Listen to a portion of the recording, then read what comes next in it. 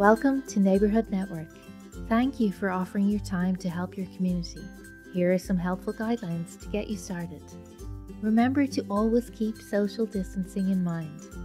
Maintain a space of 2 metres apart between you and your neighbour.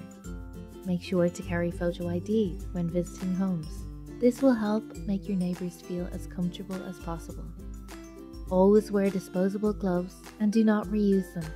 Deliver essentials to the doorstep. Do not enter the house unless absolutely necessary. Encourage the neighbour who is receiving the goods to wash their hands and disinfect everything. Wash hands thoroughly and as often as possible. Only volunteer if you are well enough to do so. If you have concerns about a neighbour's security or needs, ask the Gardaí to check up on them. If your neighbour has any health queries or concerns, advise them to ring their GP. Try to set up a regular time to visit to help your neighbour feel at ease.